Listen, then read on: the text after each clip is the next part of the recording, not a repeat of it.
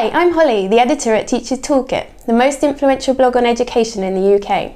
2018 is the centenary of women winning the right to vote in the UK.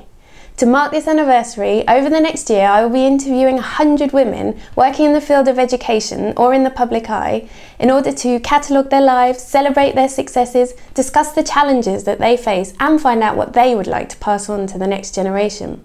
You can follow my journey and their stories on teachertoolkit.co.uk, where we will be publishing the interviews via podcast, videos, and blog posts.